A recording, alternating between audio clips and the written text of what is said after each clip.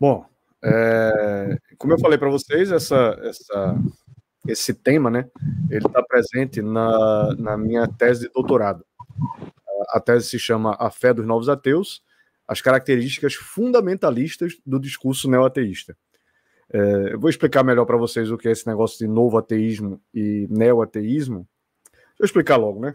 É, o ateísmo, o ateísmo até então, era simplesmente a descrença de que existe alguma coisa além da matéria, seja Deus e seja qualquer tipo de espiritualidade. E de alguns, a partir de 2001, principalmente com aqueles ataques de 11 de setembro, começou -se a se difundir muito a ideia de um, negócio, de um, de um novo tipo de ateísmo chamado neoateísmo, ou novo ateísmo. E esse neoateísmo ele é muito mais radical e ele tem literalmente por objetivo a aniquilação da religião. Ele trata a religião como algo bastante maléfico. Mas isso também vai ser apresentado na palestra daqui a pouco. É, eu quero, de início já, de imediato, recomendar para vocês dois documentários que eu acho muito importantes de serem vistos sobre esse tema. Que o primeiro é esse aqui da, da BBC, chamado Racismo Científico, Darwinismo Social e Eugenia. Isso é como está escrito lá, mas se eu não me engano é Racismo em História o nome original dele. Mas vocês podem botar do jeito que está escrito aí, que vocês vão cair nesse canal que já está inclusive em português, já está tá dublado. E também recomendo esse, esse documentário no Discovery Science, no canal do Discovery Science, é, chamado Zoos Humanos, a história esquecida da América do racismo científico. Mostrando as instituições que. Você tinha é, instituições de estudo de raças, é, você tinha literalmente é, zoológicos de pessoas, de, de populações que eram trazidas do mundo inteiro para poder mostrar a diferença entre o homem civilizado e o processo de evolução acontecendo na humanidade. É um, é um documentário. Um, todos os dois documentários são muito bons. E aí o que é que acontece? Chegamos então na, na parte principal aqui do, do nosso da nossa palestra, que é demonstrar como a ideia de Darwin gerou toda uma consequência.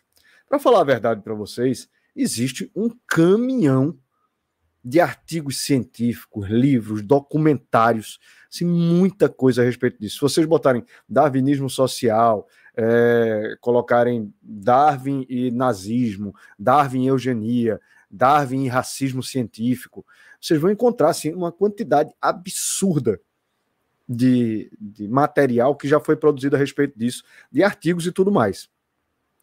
É, não obstante, o racismo, de uma forma geral, essa ideia de que existiriam civilizações mais avançadas e menos avançadas que é, deveriam ser subjugadas pelas superiores, já existia antes mesmo de Darwin. Já no início do século XIX, com o período de colonização, isso já começou a ganhar cada vez mais corpo, começou a ganhar cada vez mais espaço dentro da sociedade, principalmente inglesa, mas em outras também, como a alemã e outras europeias da época.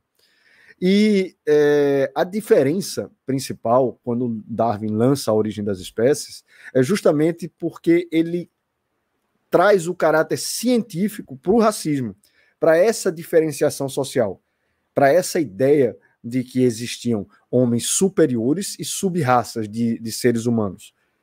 Com a, a, origem das espécies, com a ideia da evolução se alastrando rapidamente dentro da academia, esse racismo científico que pairou durante o século XIX, com o imperialismo, com o colonialismo, ele vai justamente ganhar um corpo científico, vai ganhar um caráter científico vai ser algo que está sendo feito em nome da ciência.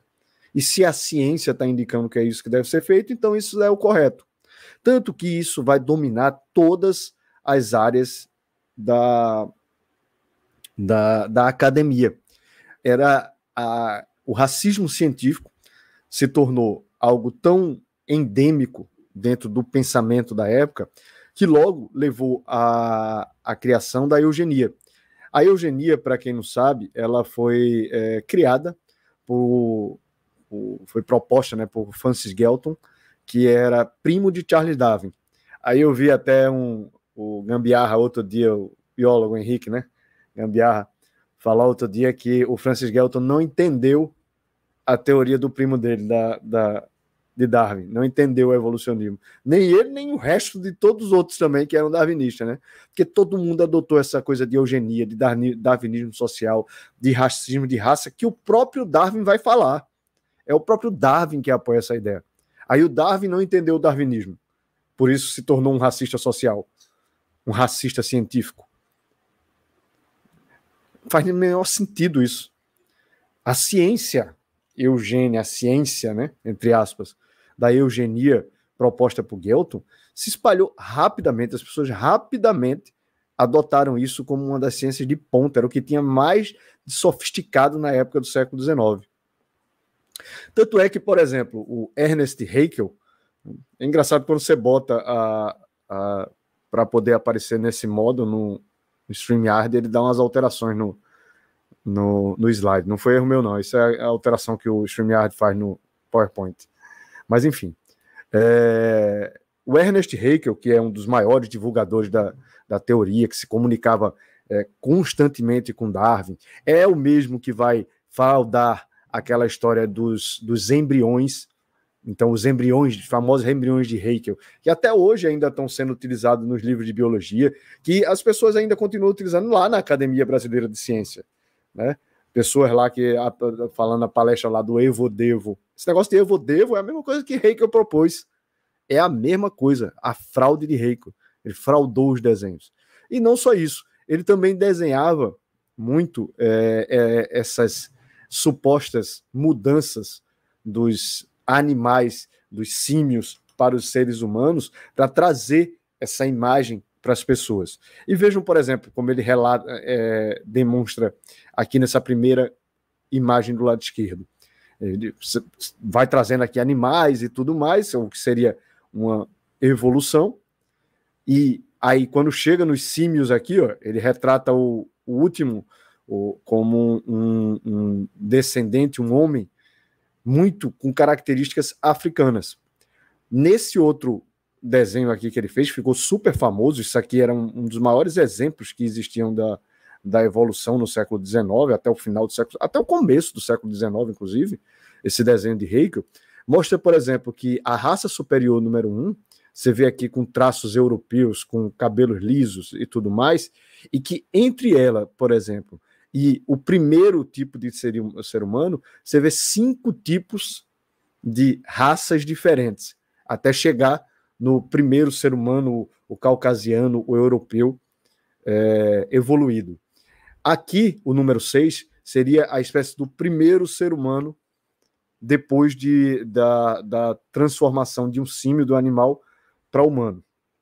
É, perceba que o negro aqui, que é representado os traços negros que são representados no, no, lado 6, eles estão colados com o, o, o, do chimpanzé, que é o 7.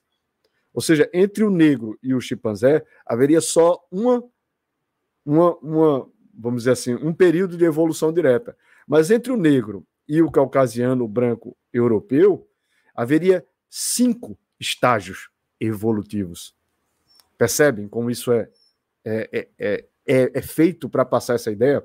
E se vocês notarem, aqui, ó, bem perto do macaco mesmo assim, do macaco mais primordial, que seria o 12, ele desenhou um macaco com um nariz bem estranho aqui. Tá vendo aqui? Por que é que ele botou esse nariz aqui nesse, nesse símio aqui número 11? Esse nariz, pessoal, era, é, era a forma como se desenhavam os judeus. Era uma forma de, de chacota com os judeus que eram chamados de narigudos. Eles eram eram eram é, eram feitas as chacotas, sátiras, as, os como é que chama? Como é que é feito a, a as caricaturas de judeus? Eles sempre exageravam muito no nariz. Aí o eu coloca bem perto do macaco um macaco com o nariz de judeu que era para passar também a ideia, porque o Heikel e todas as outras essas pessoas, tanto ele, quanto o, o, Thomas Huxley, quanto o Herbert Spencer, esse cara era super racista. Eles não eram só racistas é, com relação ao negro, eles eram racistas com relação aos judeus, eram racistas com relação aos chineses, aos asiáticos de uma forma geral. Herbert Spencer, esse cara aqui, ele, o, a teoria da evolução chegou no Brasil mais por esse cara do que pelo próprio Darwin. Ele adota a teoria da evolução, é ele quem vai adotar a expressão sobrevivência do mais apto, é ele quem cria essa expressão que Darwin vai adotar depois no livro dele a, a descendência do homem, mas quem cria é Robert Spencer. E esse cara vendeu assim um milhão de livros, cerca de um milhão de livros no século XIX. No século XIX, esse cara vendeu um milhão de livros. Foi traduzido para cerca de 30 países diferentes e com ideias totalmente racistas. Ele é considerado, inclusive, esse Herbert Spencer, que era um amigão de Darwin, inclusive, também. Esse Herbert Spencer é considerado o pai do racismo científico. E todos eles usando ideias evolutivas de Darwin. Muito claramente. Do mesmo jeito, o Haeckel, que levou, é, espalhou o darwinismo não só na Alemanha, como em outros países da Europa. Né? É, era uma coisa tão difundida, meus amigos, essa ideia de evolução dos seres humanos, de raças inferiores, de é, do, dos seres é, animalescos muito próximos de, anim, de, de é, seres como judeus, como os, os, os negros, os é, ciganos. Era tão, era tão comum essa ideia dele de povos atrasados, que eram mais próximos de animais, que os pigmeus eram considerados praticamente animais. Eram o que eles consideravam, na época, as coisas mais próximas que existiam do, do, do macaco, dos símios. Né? É, como eu falei para vocês, em 1904, na, em St. Louis, no, no estado do Missouri, nos Estados Unidos, foi feita uma, uma feira durante vários meses, passaram 4 milhões de pessoas nessa feira, onde eles trouxeram pessoas do mundo inteiro. Pessoas literalmente do mundo inteiro, dessas nações de é, dos da, povos da Patagônia, pessoas da Ásia, pessoas da Mongólia, pessoas da Tanzânia, para poder estar tá exibindo para as pessoas lá, para o branco europeu, como é a fase evolutiva social até chegar neles que eram os superiores. Eles pegavam os guarda-chuva e cutucavam as pessoas, como se fossem animais mesmo. Há registros disso, do, do, dos próprios negros dizendo isso. E o, um dos maiores exemplos, um dos mais conhecidos, não é o único, é o Otabenga. O Otabenga ele foi, foi pego, foi colocado nessa exposição de 1904, voltou para a África e depois as pessoas colocaram novamente ele em 1906 no zoológico do Bronx. E aí teve, uma repercussão, teve uma, uma, um pessoal lá humanitário começou a, a reclamar na, na, imprensa e ele acabou sendo liberado do, do zoológico. Mas é, ele nunca conseguiu viver em sociedade e em 1816 ele se matou, né? E pela, pela própria condição dele de, de de ter sido colocado durante tanto tempo exposto como subhumano. Era, ele foi um quadro depressivo muito forte que o Otamenga é, sofreu, mesmo depois de ter sido liberado do, do zoológico. Então, o que, é que acontece? Aí o, algum ateu deve estar por aí dizendo: não, mas não vale nada, não vale nada, o que vale artigo, o que vale artigo. Então vamos lá. Eu vou agradecer, inclusive, a iniciativa Tube aí, que me mandou esse artigo até agora de tarde e tudo. e aí eu digo, rapaz, já vou meter esse aqui na, na, na apresentação. Esse artigo foi publicado na Science, na Science, hein, pessoal? É, e se chama A Descendência do Homem 150 anos depois. Ele foi é, escrito e publicado por Augustin Fuentes, que é professor de antropologia na Universidade de Princeton. E ele diz o seguinte: ele diz, a gente vai ler vários trechos assim desse, desse artigo, porque ele, é, ele, é, ele resume bem o que eu estou querendo mostrar para vocês dessa ligação entre darwinismo, racismo científico, racismo social. Ele diz assim, o, o Fuentes, o Descente, que é a, a descendência do homem, né, que é o livro de, de Darwin, é frequentemente problemático, preconceituoso e prejudicial. Lembrem-se que a descendência do homem é o segundo livro que foi escrito por Charles Darwin, foi publicado por ele, onde ele vai abordar justamente a origem do homem, e essa ligação do homem com o macaco, com o símio. E aí diz o, o professor Fuentes: Esse livro é frequentemente problemático, preconceituoso e prejudicial. Darwin pensou que estava confiando em dados, ob objetividade e pensamento científico para descrever os resultados evolutivos humanos. Mas, em grande parte do livro, ele não estava. A descendência do homem, como muitos dos acadêmicos de referência da época de Darwin, oferece uma visão racista e sexista da humanidade, que ele inclusive ataca as mulheres também. Coloca as mulheres num patamar abaixo dos homens, como mais próximas dos, dos seres inferiores, só que ainda acima dos negros, ainda acima dos judeus e tudo mais. E aí, é, continua o Fuentes. É, Darwin retratou os povos indígenas das Américas e da Austrália como inferiores aos europeus em capacidade, de comportamento, incapacidade e comportamento. Os povos do continente africano eram consistentemente chamados de cognitivamente empobrecidos, menos capazes e de classificação inferior às outras raças. Isso é Darwin quem falava. Isso é Darwin, não eram as pessoas interpretando a, a teoria de Darwin equivocadamente. É o próprio Darwin.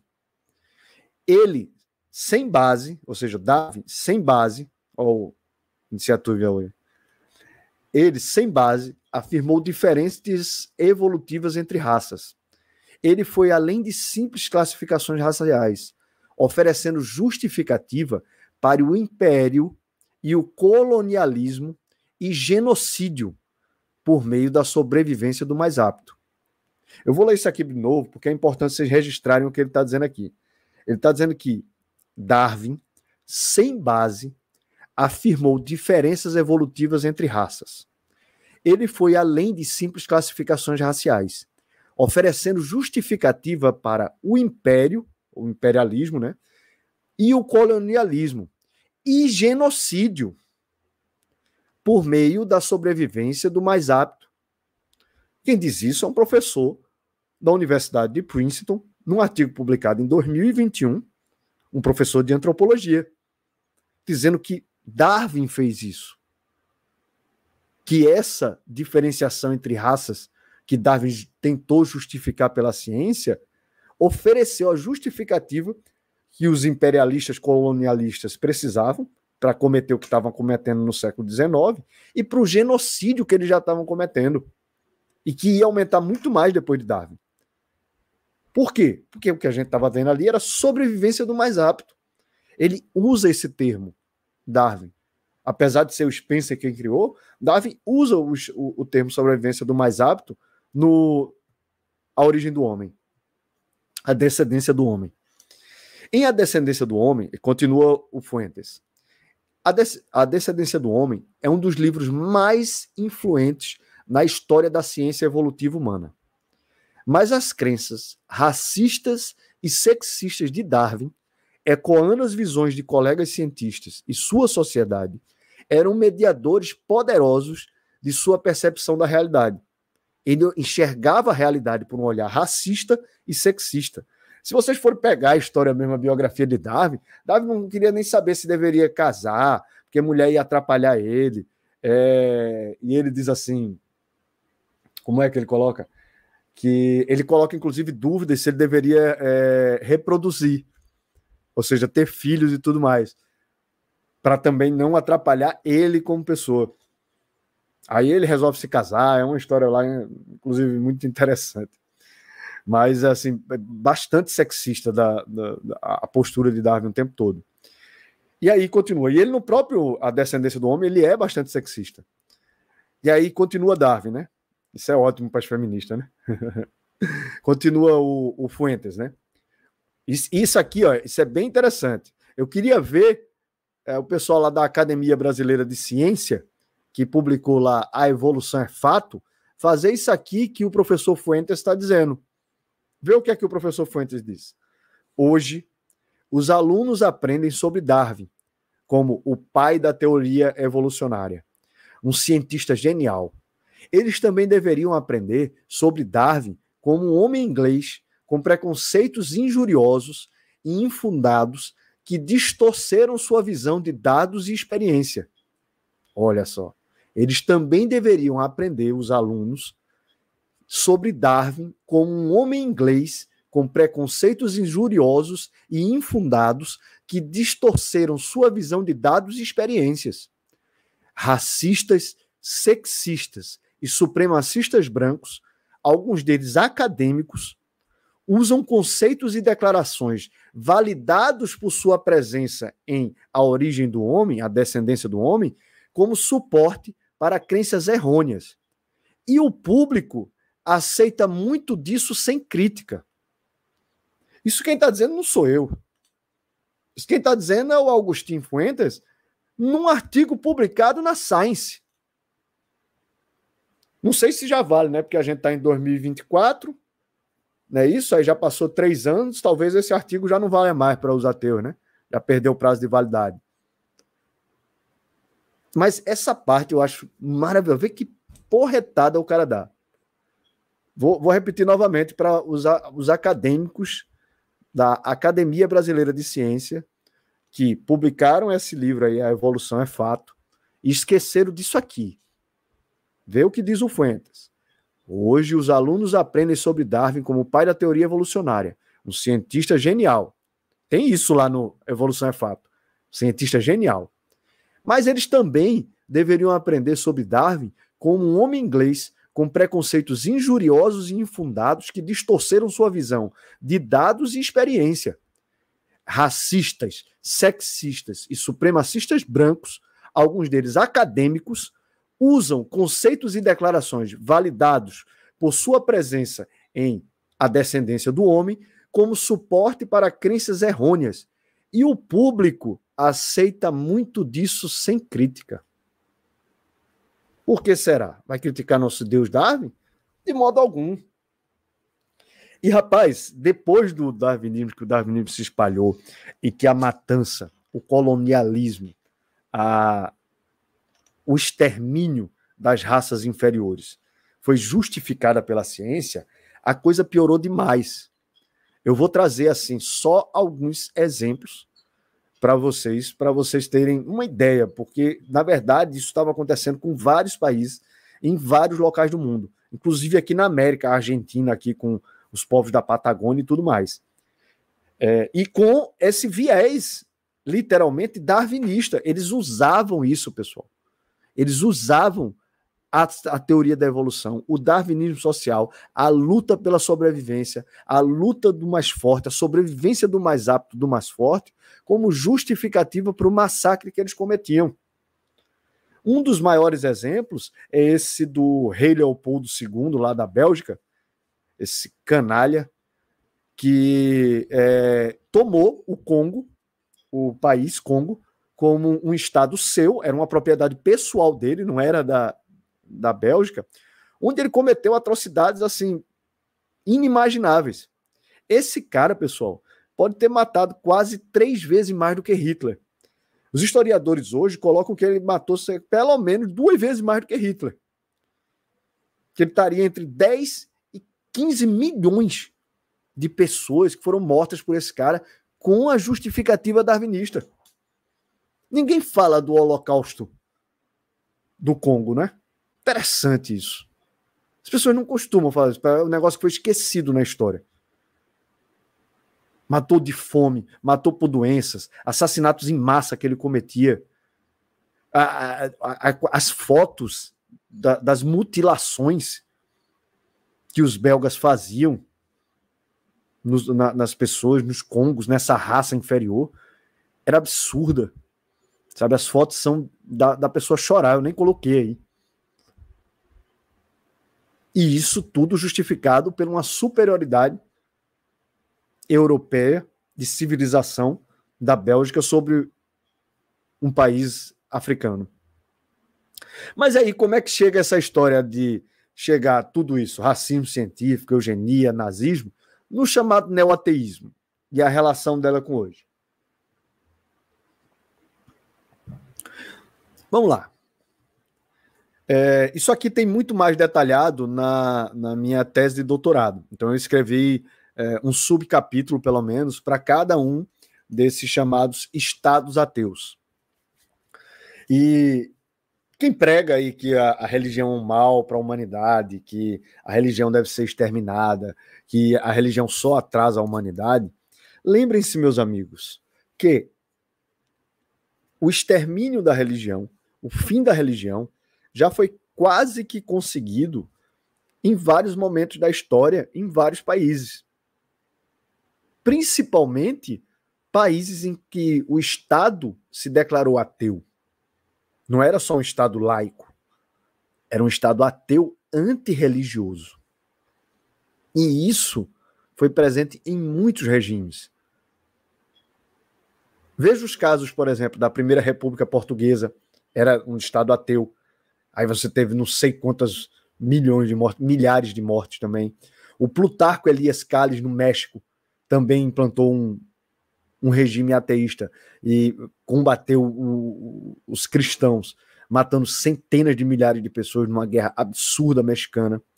A influência que houve do ateísmo né, soviético em países como a Mongólia, que também teve líderes é, que mataram e perseguiram a religião, e não só a religião, qualquer tipo de opositor.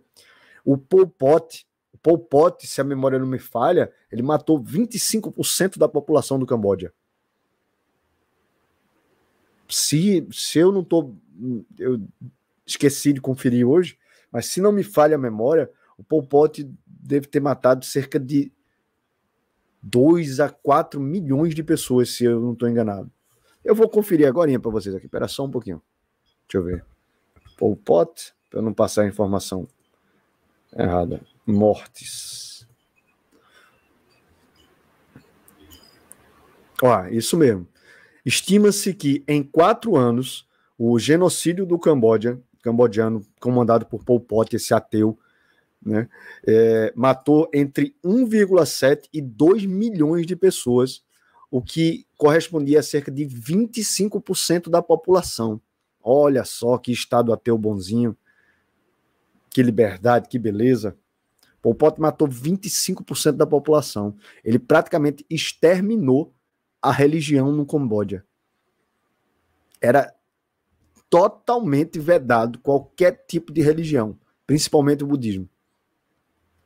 E é, os principais representantes disso eram justamente os estados é, socialistas, né? que vieram da, do, do marxismo.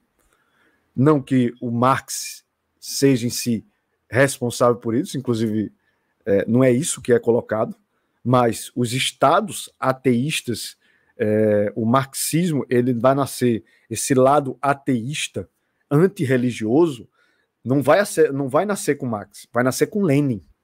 Lenin é que vai trabalhar para que o marxismo vá para esse lado ateísta. O próprio Marx não era. Não era e não, não concordava que esse tema deveria ser é, colocado para dividir a classe trabalhadora. E a, mas o Lenin, quando assume o poder, ele vai disputar poder com a Igreja Ortodoxa da Rússia e vai passar a perseguir a Igreja.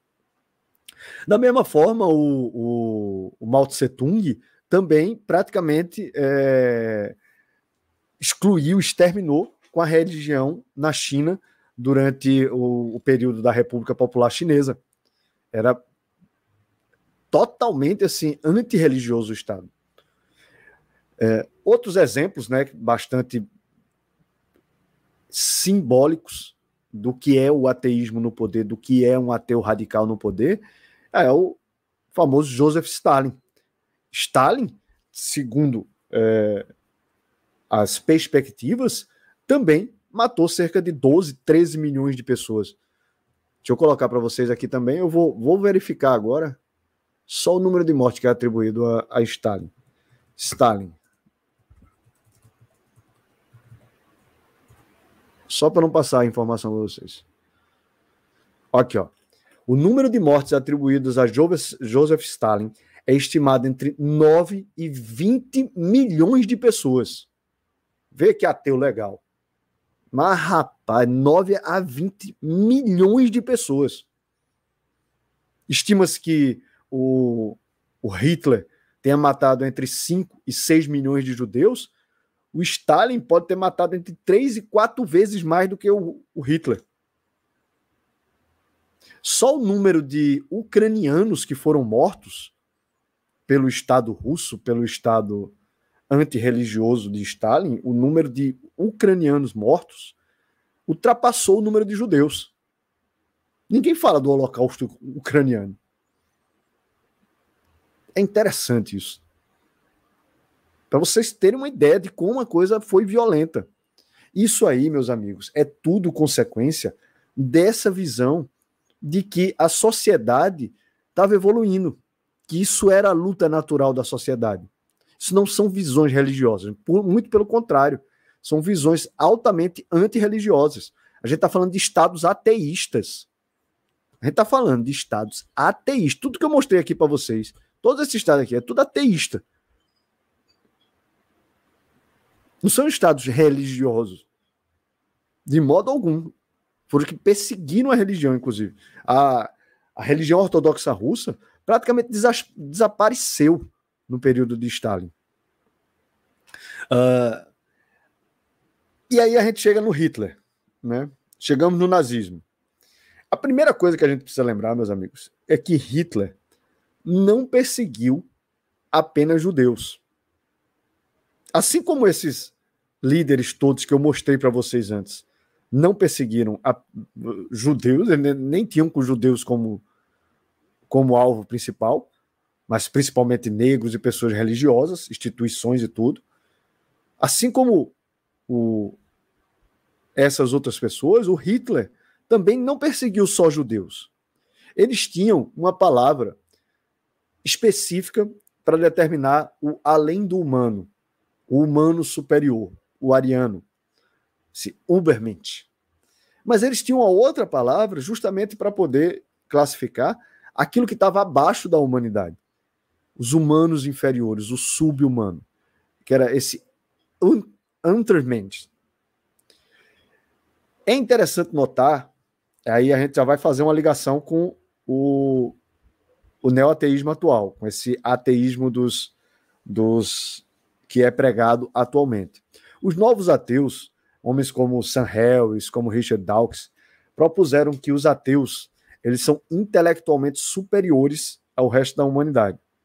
E durante um tempo eles tentaram chamar a si mesmo de brights, brilhantes. E é, a iniciativa não deu, não deu certo, coisa ridícula. Mas a ideia, vocês vão ver que essa ideia de que os ateus são superiores dentro da sociedade, ela ainda permanece e de uma forma muito perigosa.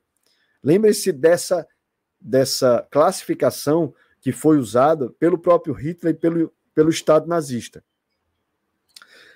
É, como eu falei para vocês, os judeus sequer foram a primeira, a primeira, o primeiro povo, a primeira é, raça, entre aspas, que foi perseguida no Estado nazista. Eles começaram primeiro, principalmente, pelos deficientes, por pessoas que davam custos ao Estado. Percebam aqui nessa imagem anterior, por exemplo, que ele coloca os outros indivíduos das outras sociedades, do o judeu, que está do lado direito dele, e o negro do lado esquerdo, como se fossem pesos sobre os ombros, os ombros do ariano branco. Isso é para passar o Estado nazista querendo passar a ideia de como essas raças inferiores, evolutivamente inferiores, pesavam para a sociedade, para o homem branco. E por isso a gente deveria se livrar delas. E aí vem a primeira, primeira leva de perseguidos do Estado nazista, ela é de pessoas com deficiências, deficiências físicas, deficiências mentais. Essas pessoas foram as primeiras a ser perseguidas, mandadas para os, os manicômios, que na verdade eram ó, a, a, o embrião dos locais onde os, os judeus iam ser exterminados depois. Eram locais de extermínio de pessoas. Esses deficientes físicos, mentais, nunca mais voltavam para suas casas. Eles eram mortos. Esse cartaz, por exemplo, mostra um deficiente físico em que tem um médico atrás dele e diz que esse cara custa para a sociedade que as pessoas abram o olho e percebam é, o custo de, de, da vida dessas pessoas, porque um cara como esse, por exemplo, custava 60 mil. É, como era o nome da moeda? Acho que era Shimaker, Shimaker, um negócio assim. Custava 60, custava, era um custo muito alto para a sociedade, você ter deficientes mentais naquela sociedade, que estava atrapalhando, inclusive, a genética daquela sociedade. Aquela sociedade de evoluir.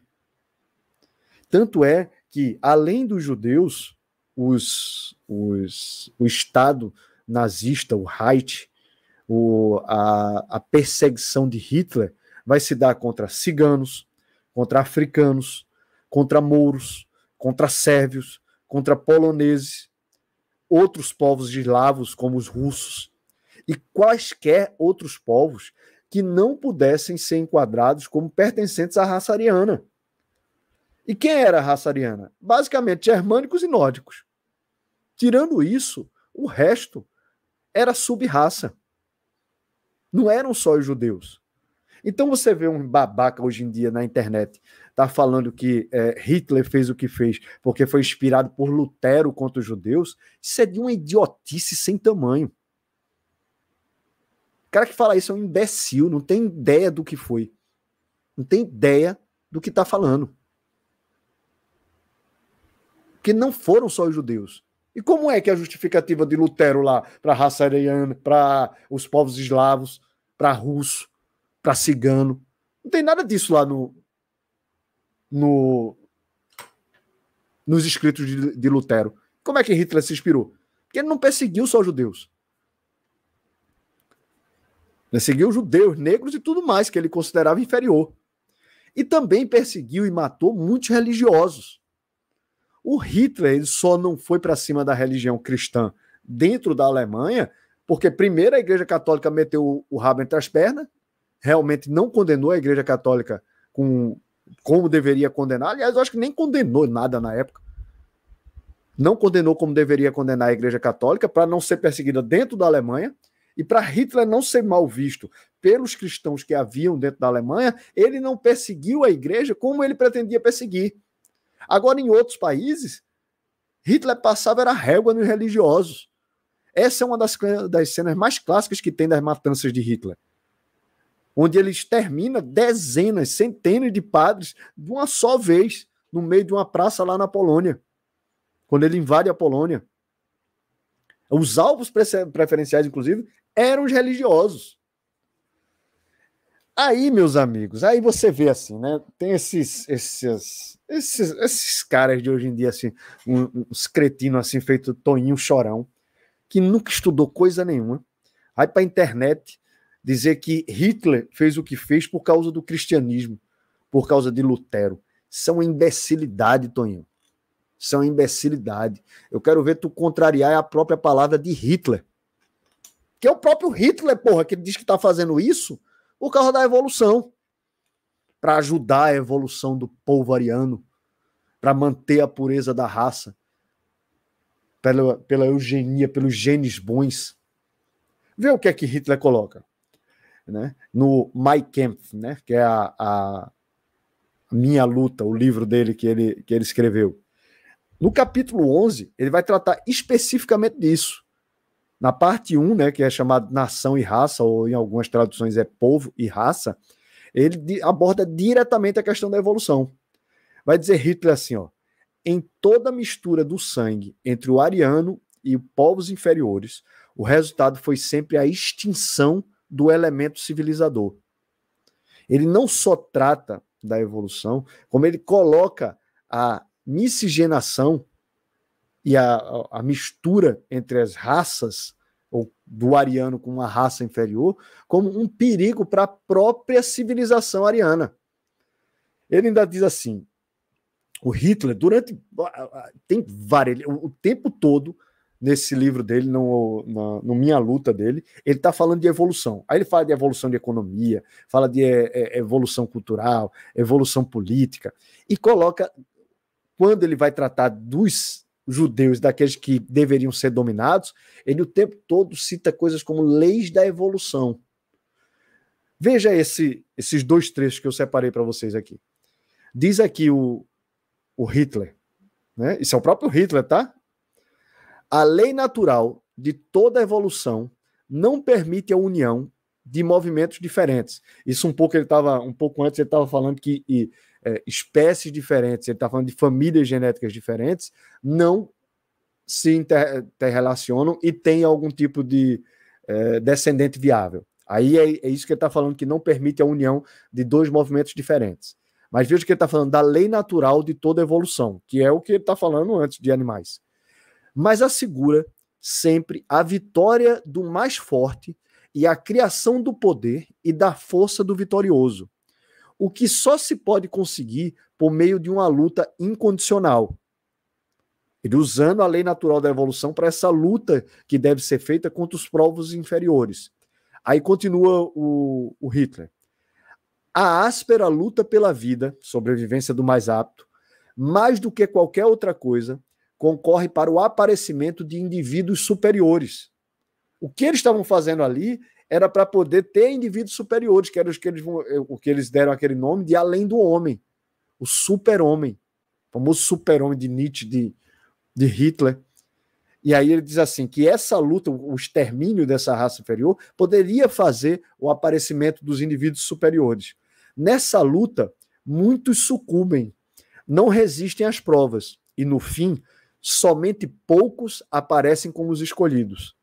Isso é darwinismo, evolução na veia. Isso é exatamente o que é colocado pela evolução pelos darwinistas. Da sobrevivência do mais alto que vai espalhar seus genes e tudo mais. E vejam, preciso lembrar que Jesus era judeu. Então, como é que raios Hitler fez isso em nome do cristianismo, se ele perseguia os judeus, em especial, mas não só.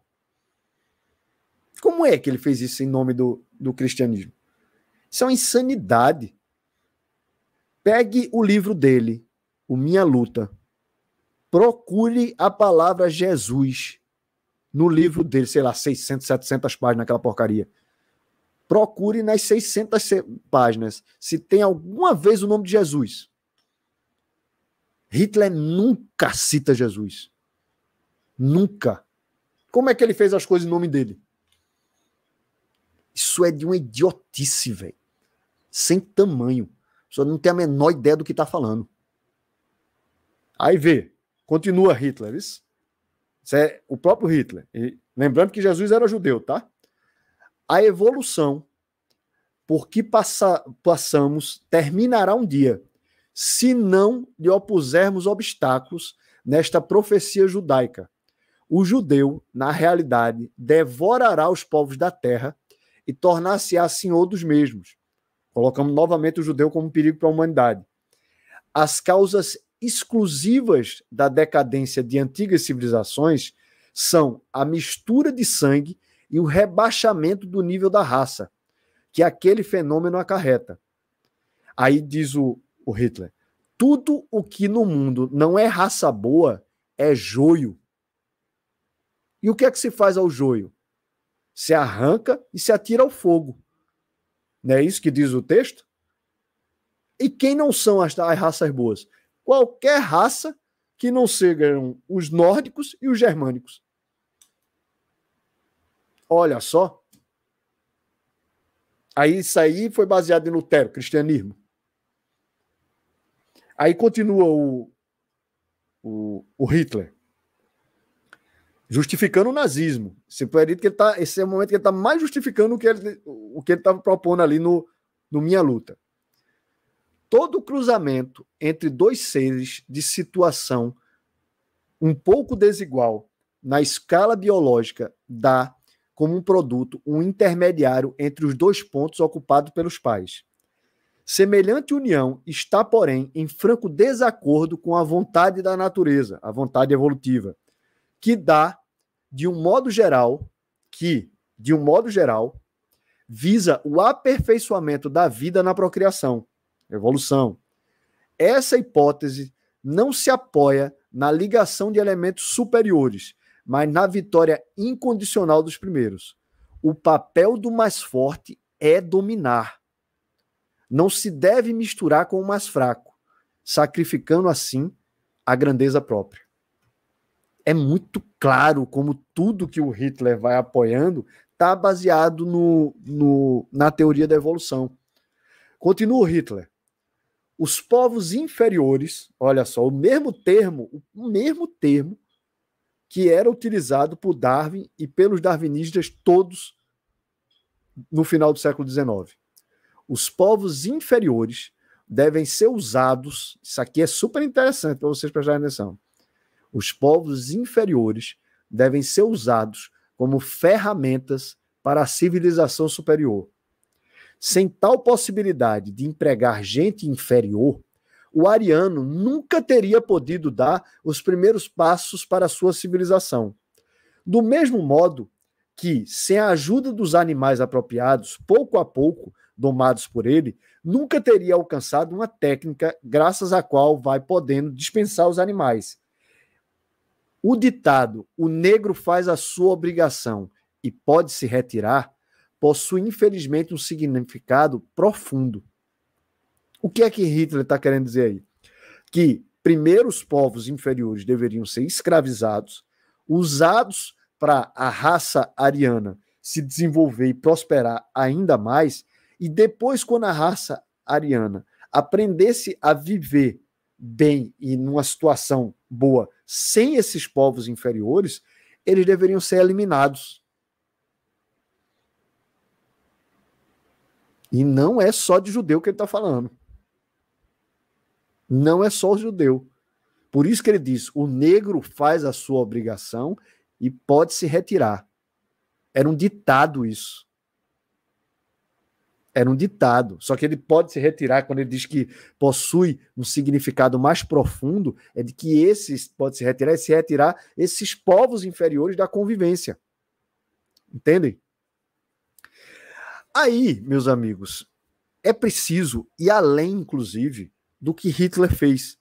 Como eu mostrei para vocês, eu mostrei é, o Leopoldo II, que matou duas vezes, no mínimo duas vezes mais do que Hitler. Mostrei para vocês o Stalin, que pode ter matado até três vezes mais do que Hitler. Né? E aí você pensa assim: quem era o principal opositor de Hitler? Segundo a história, foi Winston Churchill, né? o primeiro-ministro inglês. Durante, vejam como era espalhada a ideia de eugenia, a ideia de darwinismo social, a ideia de racismo científico de sociedades que poderiam exterminar outra. Vejam como era espalhado. Não foi por isso que Churchill lutou contra Hitler. Foi para defender a Europa e principalmente a Inglaterra de Hitler. Mas não para defender pelo que Hitler estava fazendo, pela eugenia, pela matança que Hitler estava fazendo, e nem para defender judeu. Não foi para isso. O próprio Winston Churchill que é o principal opositor de Hitler, é eugenista, era eugenista. Esse cara foi durante décadas membro da Sociedade Inglesa de Eugenia. O Churchill, que era opositor a Hitler.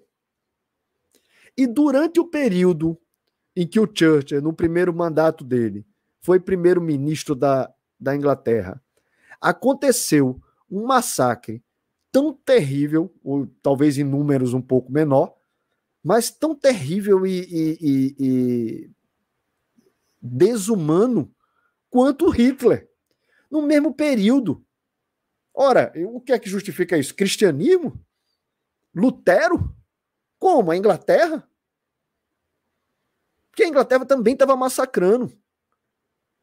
Esse cara, esse Lord Linton, ele era vice-rei da Índia. E na Índia, esse cara matou cerca de 3 milhões de pessoas de fome, de doenças, de massacres em, em, em massa. Durante o período em que Churchill era primeiro-ministro. E com as mesmas práticas e justificativas de Hitler. O evolucionismo ele deixou milhões de pessoas morrerem de fome, pegou as cargas, tudo, obrigou os indianos a plantar arroz, plantar outros mantimentos para exportação, exportou toda a comida e deixou a população morrer. E ele justificava isso como darwinismo, como a luta pela sobrevivência. Que só os mais fortes na Índia sobreviveriam. Que aquilo seria bom, inclusive, para aquela população. Para que aquela população evoluísse mais rápido. Isso aí era pressão evolutiva que ele estava fazendo.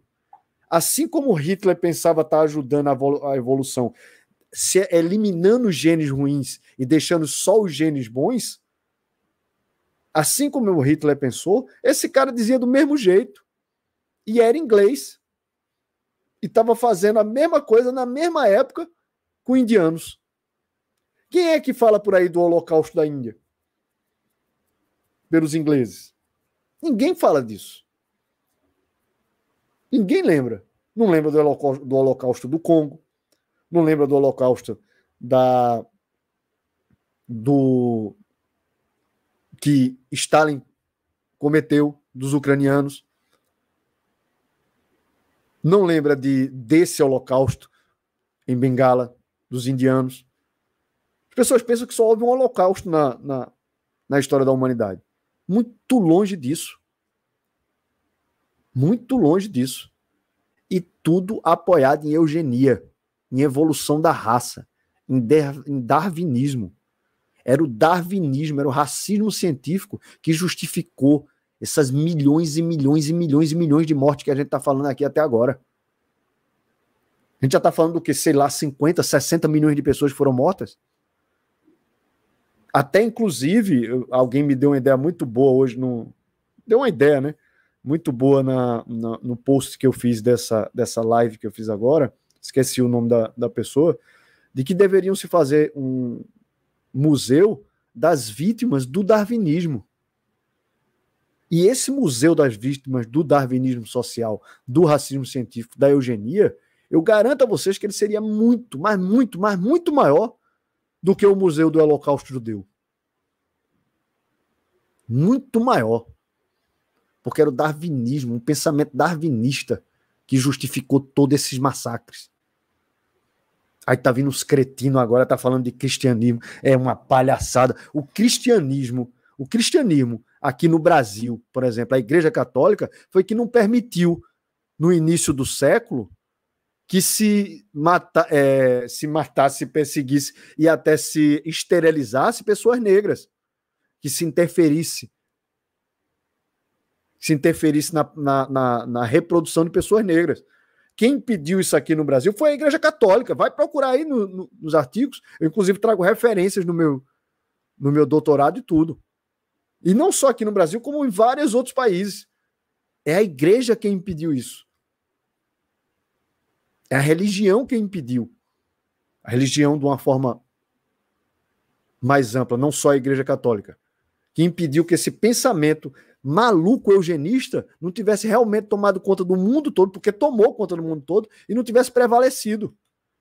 É porque o nazismo foi como se fosse uma. uma o professor Glauco Filho até fala isso. O, o, o nazismo era como se fosse o seguinte: vinha-se durante todo o século XIX cozinhando essa ideia eugenista é, superioridade de raça e tudo mais, durante todo o século XIX, numa temperatura mais ou menos, é, vamos dizer assim, subindo aos poucos. Aí, como se fosse um sapo dentro de uma panela, você vai subindo a temperatura aos poucos. Só que aí, quando deu a, chegou a origem das, das espécies, começou-se a matança em nome da ciência, você como, foi como se você tivesse aumentado a temperatura de vez da água. Aí o sapo pulou da panela. Ou seja, depois de 30, 40 anos com essa matança toda que estava vendo no mundo, esses extermínios, uh, e principalmente depois de Hitler, aí começou -se a se refrear essa ideia de darwinismo social, de eugenia. Até 1960, 1970, pessoal, tinha a Sociedade Brasileira Eugenista da Suécia. Tinham leis eugenistas na Suécia até 1950, 1960. Sabe? Nos Estados Unidos também.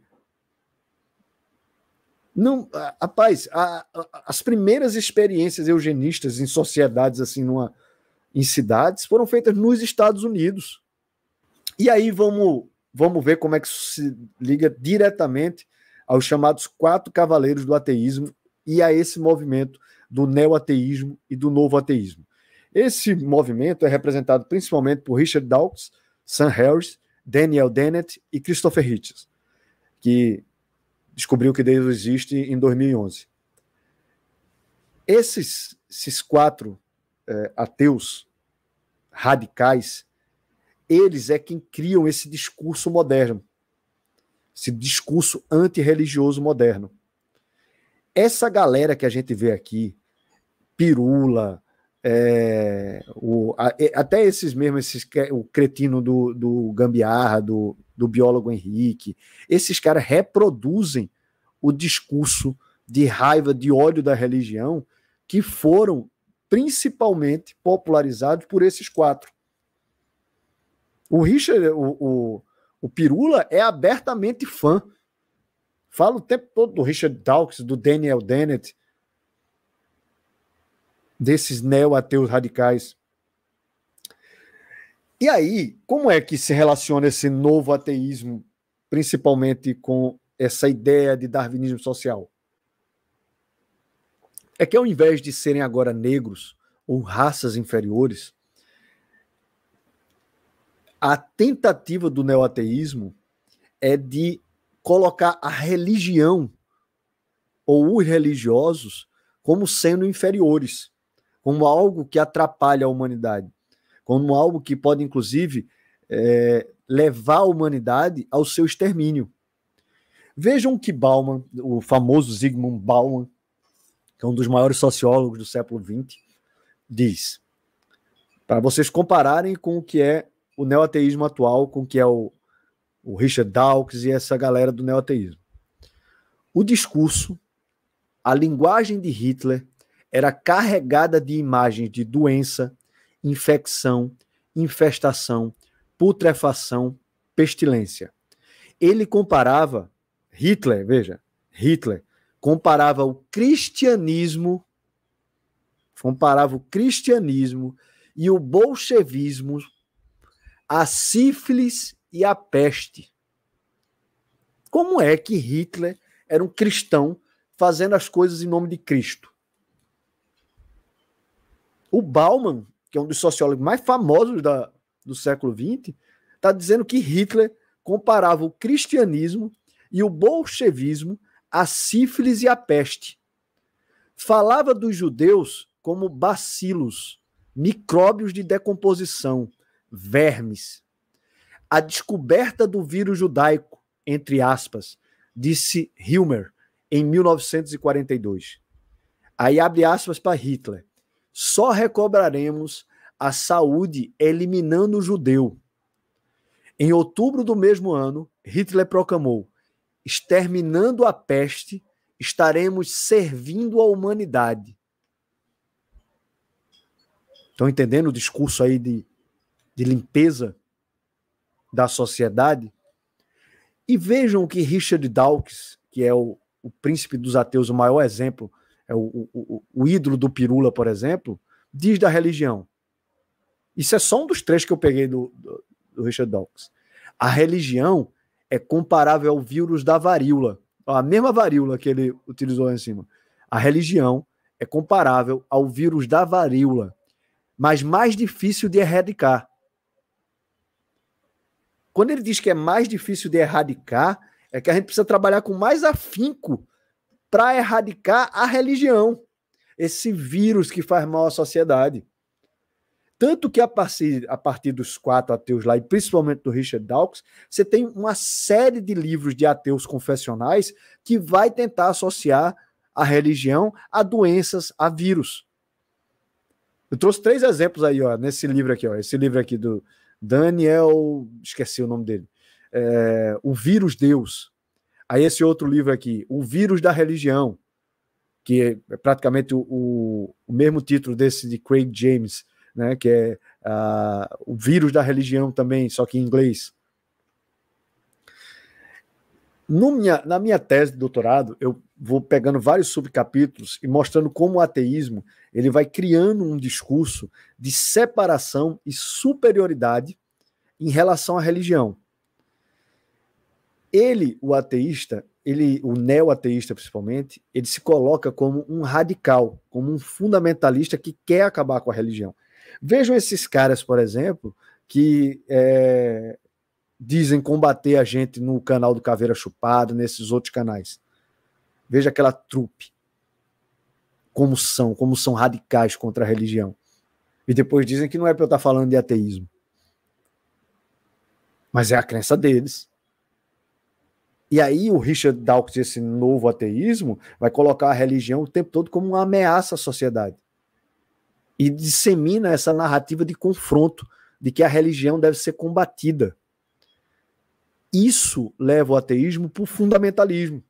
Esse filósofo, que inclusive é ateu, que é o Jeffrey Null, ele escreveu um artigo falando do fundamentalismo dos ateus, e em determinado trecho ele diz assim: o ateísmo fundamentalista, então, é uma forma de ateísmo explícito que define a religião como necessariamente anticientífica. Não combina muito com o discurso do, dos ateus que dizem combater a gente? Aí ele continua: a religião como motivadora da violência e avessa ao progresso.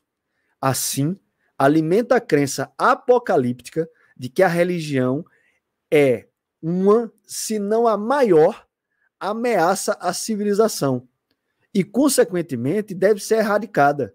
Isso é exatamente o mesmo discurso desses neo-ateus que o, o Nau está denunciando aí, é exatamente o mesmo discurso que a gente escuta na boca do Gambiarra, na boca do Toninho, na boca desses ateus maluco, do próprio Pirula.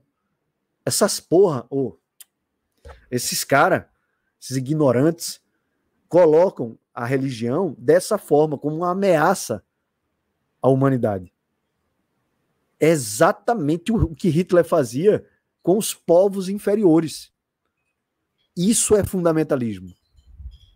Isso é fundamentalismo. O, o Richard Dawkins, inclusive, né, ele tem essa foto famosa dele aí como um, um anticristão, um antirreligioso. É, ele vai fazer toda uma estrutura de colocar a religião, o fim da religião, como uma panaceia para a humanidade, como a resolução dos nossos problemas. E ele chega a chamar as pessoas, no livro deles, inclusive, conclama as pessoas para que lutem contra a religião. Para que a religião pare de atrasar a humanidade. Assim como Hitler fez com os, os povos inferiores que estavam atrasando a evolução dos arianos. O Sam Harris, que é o dos outros ateus radicais lá, dos quatro, ele vai dizer assim: as nossas identidades religiosas têm claramente os dias contados. Saber se a nossa civilização não terá também ela os dias contados dependerá em grande medida do tempo que demorarmos a tomar consciência disso. Ou seja, do mal que a religião pode fazer à humanidade. Quem é que tem os dias contados que vai terminar primeiro, a religião ou a humanidade? E, meus amigos, mais do que isso, o, o Richard Dawkins, ele naquele livro dele, é, principalmente o, o gênio egoísta, não, o Deus é um delírio.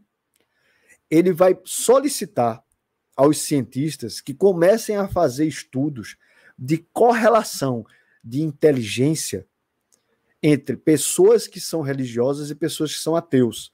Lembra que eu falei para vocês que em determinado momento os ateus queriam se colocar como superiores na sociedade, como os brights, como aqueles que foram despertos pela ciência, e não tem mais a burrice religiosa. Então é exatamente isso que ele queria que se fosse provado em testes de QI, em teste de inteligência. Lembrando que os testes de inteligência foram inventados principalmente por aquele Gelton, que é da eugenia. Esses testes de inteligência vêm principalmente desse período racista científico que tomou conta no século XIX.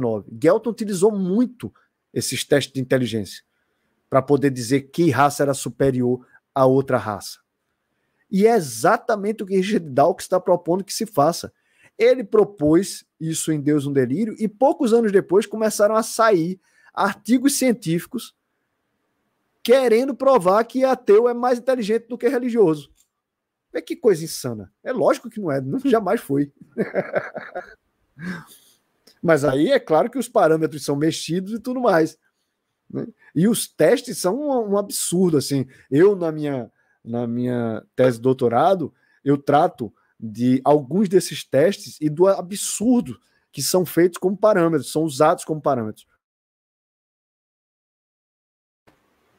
E nisso é, é tudo manipulado para poder justamente tentar dar algum tipo de superioridade aos ateus. Mas nem quando eles manipulam tudo, eles conseguem demonstrar realmente uma superioridade do ateísmo sobre os religiosos. Faz nem sentido uma câmara de besta retado. Aí, enfim, é, esses testes de inteligência, eles vão buscar, segundo os darwinistas, mostrar uma correlação negativa entre religião e inteligência, ou uma correlação positiva entre inteligência e ateísmo.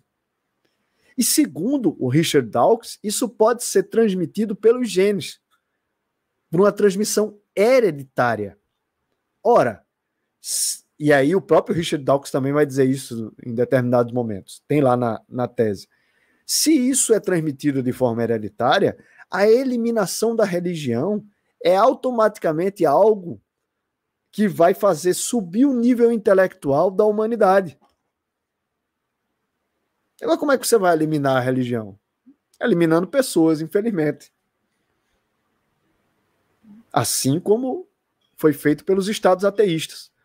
Essas dezenas de milhões de pessoas que morreram na mão desses ateus terríveis que comandaram esses estados. E existem, inclusive, eu até esqueci de dizer, pessoal, vocês forem pesquisar, eu trago algumas referências na minha tese, é, historiadores que mostram que, na verdade, o Hitler era uma porra de um ateu.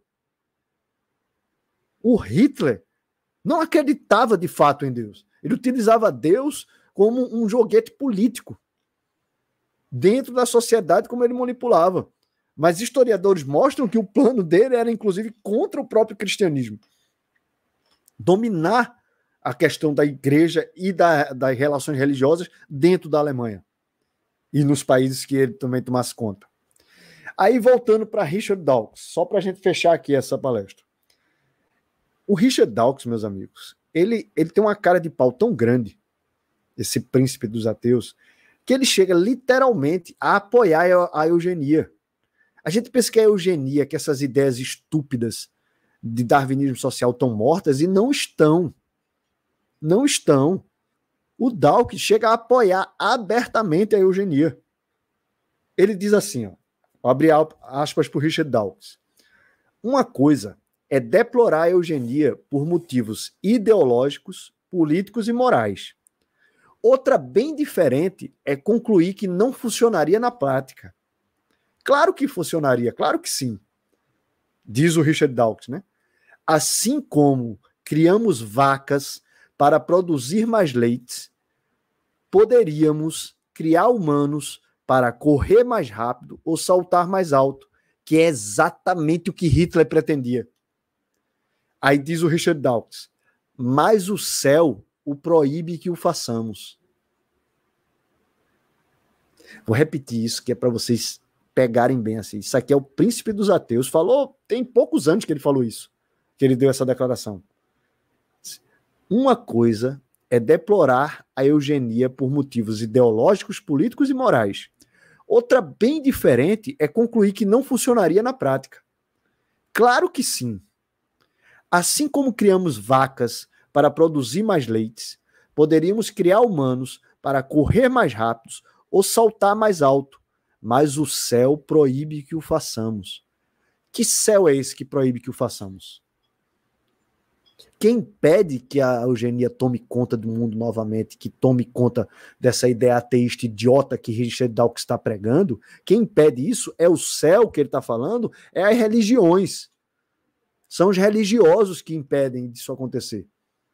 É a visão religiosa que impede que essa imbecilidade dessa eugenia do darwinismo social tome conta do mundo novamente.